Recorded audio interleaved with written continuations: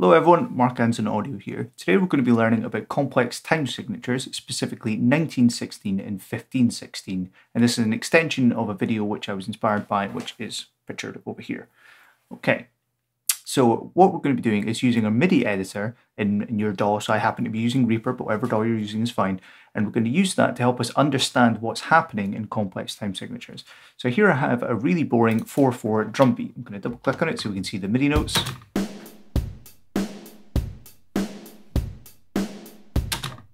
Okay, very dull, but we can learn from this. Okay, so what we have here are uh, basically our 4-4 time signature has been divided into 16th notes. Uh, so we can see these grid lines here represent 16th notes as denoted by my grid down here. Uh, so the eagle eye amongst you will notice that these hi-hats are technically speaking being played on the 8th notes because if they were being played on 16th notes, there would actually be twice as many of them. So I can do that just now.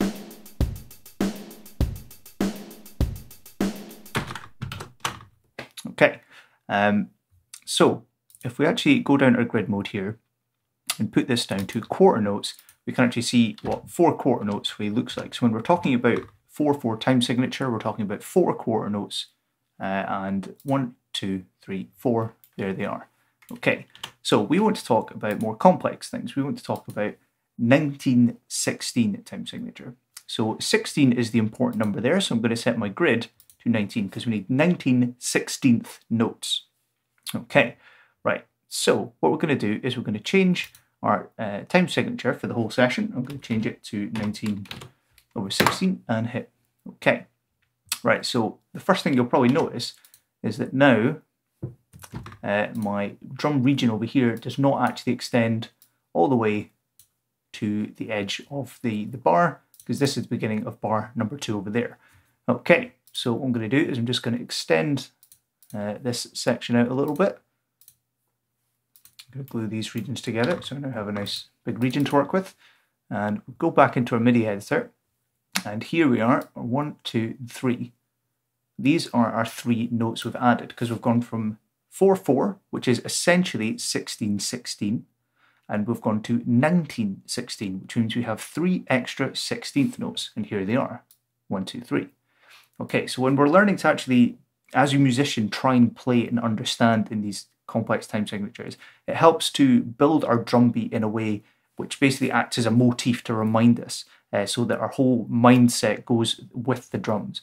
So what I'm going to do is I'm going to put in one, two, three notes. I don't know why the velocity of those has changed. I'm just going to pump those up and maybe a kick to start there as well. So listen to the, the whole whole thing now.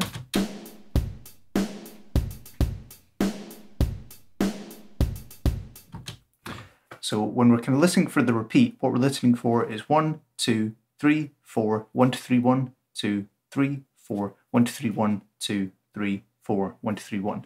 So this section here is our three extra 16th notes which are going at the end. So I put a hi-hat on each of them. Uh, so when we're listening as a musician, we've got a, a, that motif to, to, to jump on and in our minds to, to grasp.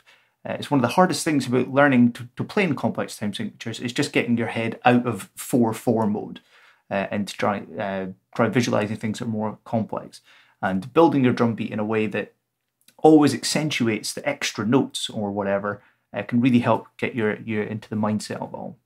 Okay, so what we're going to do down here is I've got a little bass uh, patch and I'm going to just add in uh, a very basic bass line. So what I'm going to do is again we're going to stick with that one, two, three, four, one, two, three, one, two, three, four, one, three, one sort of thing. So I'm going to start off by doing four very basic boring notes. One, two, three, four. And then because we're learning to, to understand and, uh, and play in these time signatures, I'm going to accentuate these three sixteenth notes at the end by doing something with them. I don't know, let's say that. What does that sound like? Kind of pants. Uh, so let's do something weird like that.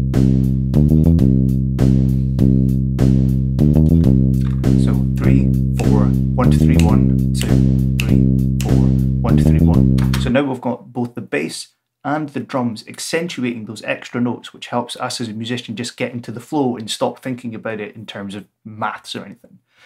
Okay, right, so that's 1916.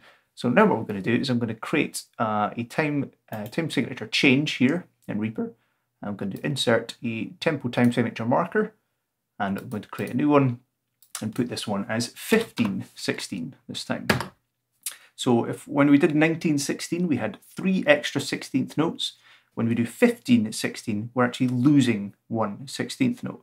So what that ends up being is one, two, three, one, two, three, one, two, three, one, two, three, one. Uh, so it's basically the same, except you're you're losing four 16th notes. So it's actually pretty easy. Uh, and I realise I've just actually made a mistake there, so I'm just gonna, gonna put the I've changed the time signature for the whole session. I apologise. Gonna make sure I click there. There we go. Insert a new one. 15, 16. Okay, so this section here is still 1916. Now this section over here is 15, 16. Okay, so I'm going to insert my drums and quickly build up my drum beats. my hi-hats.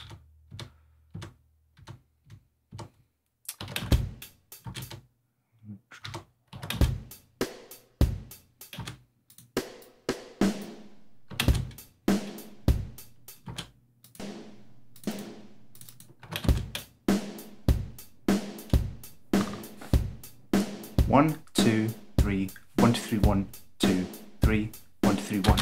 So you can hear it with the, the beat is the way it is. It's hard to, to hear, but again, if we build the drum beat in a way that helps us motif that. So let's get rid of the snare here, and I'm to put a kick, and I'm put basically triple hi-hats here.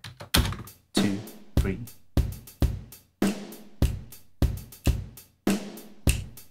One, two, three, one, two, three, one, two, three, one, two, three, one.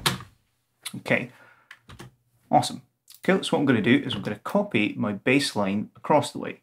But of course, it's too long because it's in 1916.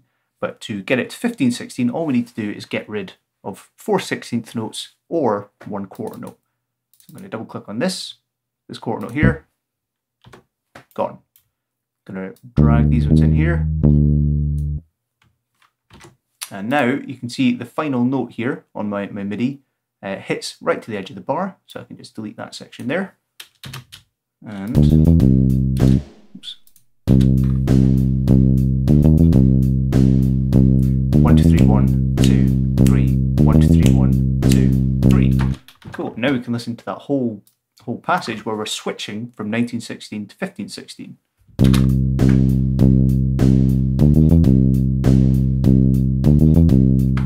Okay, and again, since we're musicians and we're trying to get into the flow of it, I'm going to change these last three notes over here. Uh, let's see, down here, so that we always have something to keep us on track should we ever lose rhythm.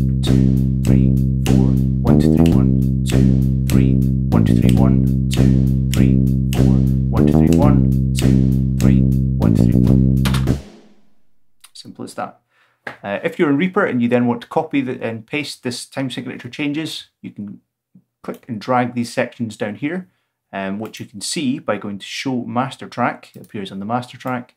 You can right click, uh, right click drag on these blobs and you can copy and paste those to your heart's delight and then you can copy and paste your regions across as well and everything should sync up to bar markers. Um, so I hope you enjoyed this tutorial. As I say, this is all based uh, on the, after I watched this other video uh, a while ago, uh, but I thought it's a good way to visualize it when you've got MIDI in front of you, you can see the grids. Uh, so I hope this encourages you to experiment more with cool time signatures and hopefully you'll write something cool. And if you do, give it a shout. Anyway, my name's been Mark Anderson Audio. Please like, rate, comment, subscribe, all that fun stuff. Adios.